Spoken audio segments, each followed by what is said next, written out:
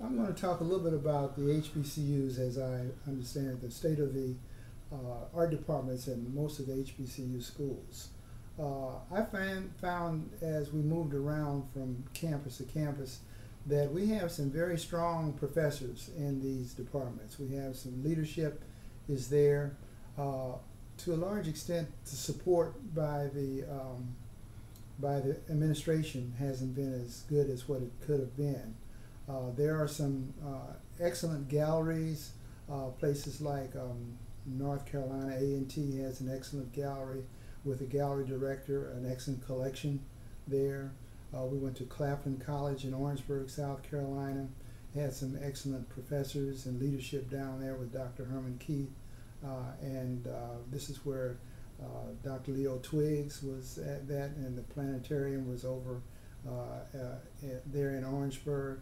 So we have some very strong uh, um, um, administrative um, uh, leadership in the art departments.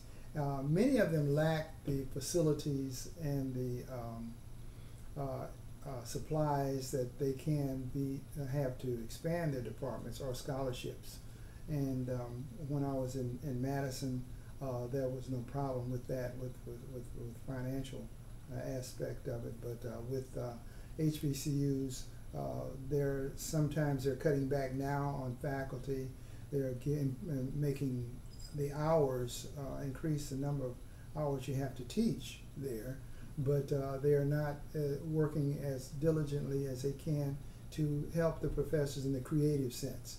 So, to a large extent, this is where the National Alliance of Artists from Historically Black Colleges plays a good role because we're able to give them that outlet they need to support uh, their art and to give them identification for their students.